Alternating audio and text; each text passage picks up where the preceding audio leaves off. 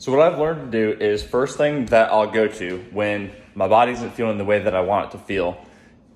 is is before I go to anything that I'm doing actually like movement or exercise wise, I'll simply ask, what do I want to do? Am I aware of what I'm doing? Am I aware that I'm making the choice that I want to make with what is that I'm doing? Or does it feel like I have to or I'm being forced to do this thing? Because just like for myself personally, when it feels like I'm being forced or having to do something that I'm not saying like, this is what I want to do, my body literally will feel heavier, right?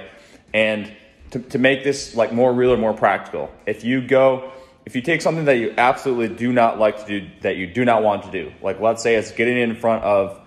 a group of 100,000 people and you talking about a topic which you know nothing about and you have to fill the space of 60 minutes with zero preparation. If you put yourself in that situation, in that situation or scenario,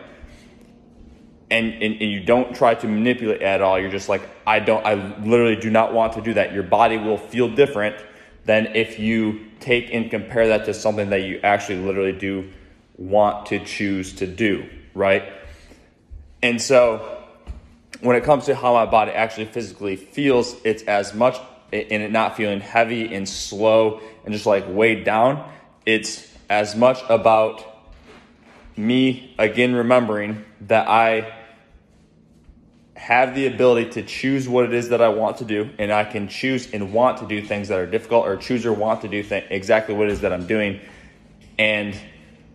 actually like literally feel that, and then my body will literally get physically lighter, and then I can start to look at and address other things. But it starts with that differentiation between like I am choosing to want to do this, like literally, really do want to do this, versus this is something I have to, and it feels like I'm being forced to do it.